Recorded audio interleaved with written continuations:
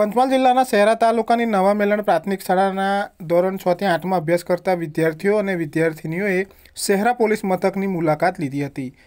શહેરા ખાતે પોલીસ મથકની મુલાકાત નવા મેલણ પ્રાથમિક શાળાના વિદ્યાર્થીઓએ લીધી હતી. તેઓ પોલીસની જે કામગીરી છે તેનાથી વાકેફ થયા હતા. પંચમહાલ જિલ્લા શહેરા પોલીસ મથકની નવા મેલણ પ્રાથમિક શાળાના વિદ્યાર્થીઓએ મુલાકાત લઈને પોલીસ વિભાગ કઈ રીતે કામ કરે છે તેની માહિતી મેળવી હતી. પોલીસ વિભાગ દ્વારા ઉપયોગમાં લેવાતા જે બંદૂક સહિતના હથિયારોનું પણ નિરીક્ષણ કર્યું હતું.